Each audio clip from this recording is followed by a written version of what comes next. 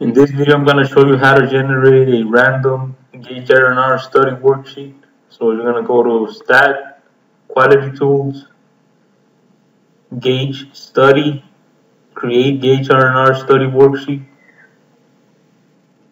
You're going to select the uh, number of parts that you want, number of operators, number of times you want each operator to run the parts, you also have some options of what you want to randomize. So I'm going to select this option here to also randomize the operator sequence.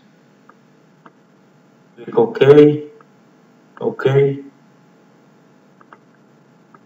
And here it is, your randomized study worksheet. You probably want to add another column here for the values so you can write down all the values here. That's it for this video. Thank you for watching.